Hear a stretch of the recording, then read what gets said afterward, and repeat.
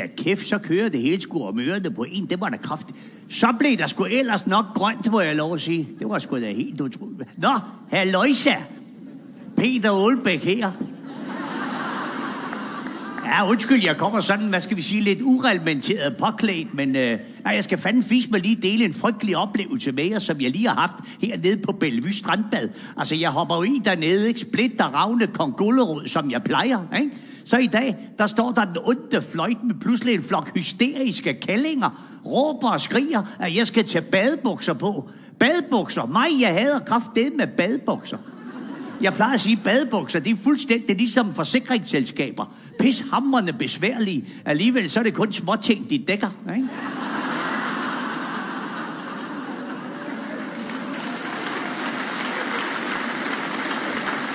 Jamen for helvede altså. Det er jo sådan, verden den er blevet i dag, ikke? Nypoetan, så kropsforskrækket, så det kraft det med lige til at brække sig over, ikke? Jeg mener, hvem fanden gider være en gammel handelefant, hvis man ikke engang må svinge lidt med snablen? Jamen, det er jo så også den filosofi, som øh, Lars og mig, vi har bygget hele centroper op omkring. Ikke? Nøgenhed og seksuelle ydmygelser i trygge rammer. Ikke? Alt sammen for at hærte vores medarbejdere til den hårde filmbranche. Ikke? Som vi plejer at sige, altså et klask i røven, det er sgu da bare et skulderklap, der sidder lidt for langt nede. Ikke?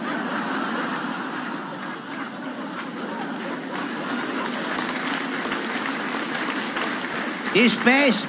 Det er spas, det er jargonen, det er abegrotten derude, ikke?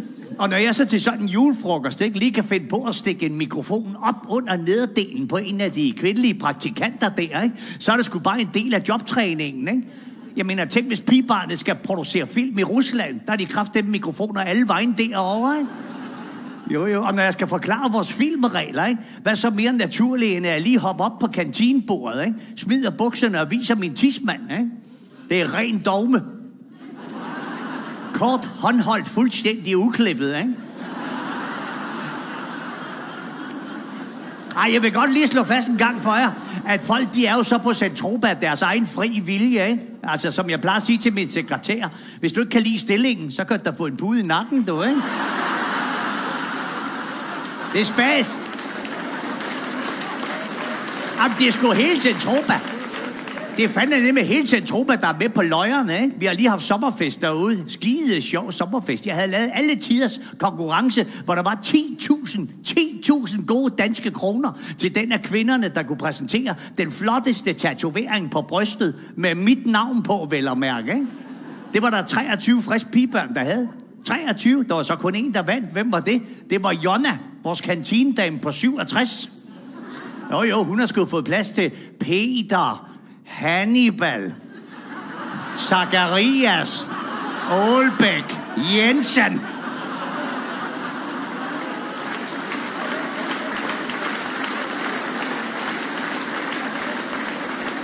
Ja, så har jeg jo så ovenikøbet lige slået af med sådan en lille punktum for neden, hvis I forstår sådan en lille en. Ah, lille og lille, det er sgu nok det største punktum, jeg nogensinde har set. Ah, det er sgu da spas på arbejdspladsen, ikke? Og sådan er det kørt fint i 25 år. Lige indtil der gik det her uh, MeToo i hele filmbranchen, ikke? Fordi den store, kæmpe idiot til Harvey Weinstein for Hollywood, han blev taget med fingeren i dåsen, du, ikke?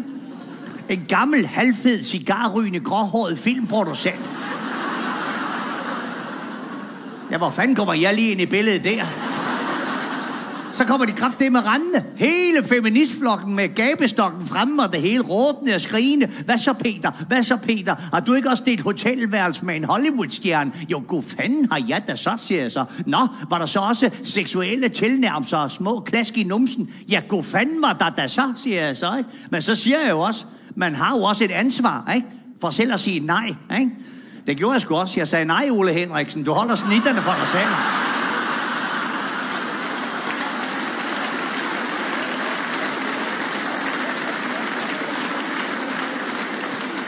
Jo, jo. Det var sgu noget af en oplevelse, må jeg nok sige. Kom sådan lidt bag på mig, mand. Det må man så bøje sig for, jo, så... Jamen, prøv nu en gang at høre alt det her krænkelsespis, altså. Det breder sig fuldstændig som pesten, altså. Tag nu fodboldlandsholdet. De må fandme nemme ikke engang længere sidde i deres omklædningsrum og råbe store patter. Jamen, hvad fanden bliver det næste? Må Søren Ryge heller ikke gå i haven for at vise sit løg? Nå, Jamen, jeg skal også videre. Jeg er på vej over i... Øh, jeg er på vej over i øh, Bakkens Hvile. Ikke? Jeg skal over og synge en revysang for en flok skønge kællinger derovre. De er sgu ikke så kropforskrækket, så jeg behøver ikke engang klæde om. Nej, jeg smider bare badekåben, ikke? Så laver jeg lige helikopteren, ikke? Og så synger jeg den der, jeg er den sidste nudist på Centropa. Ja. Nå, men kig over. Dagens menu, det er stegt ål, og små pelkartofler, ikke?